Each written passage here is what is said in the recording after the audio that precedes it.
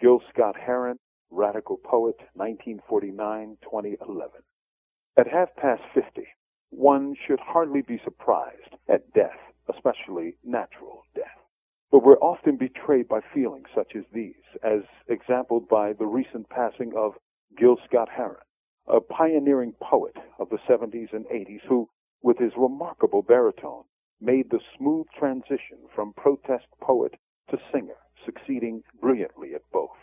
As poet, his phrasings were often backed up by the percussive power of drums.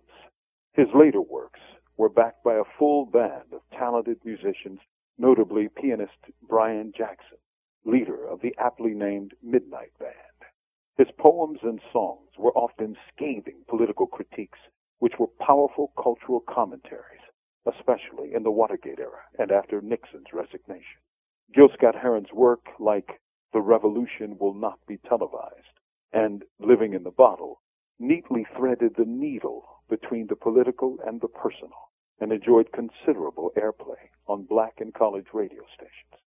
Like many artists, especially of the jazz era, Gil Scott Heron reportedly utilized controlled substances to feed his head.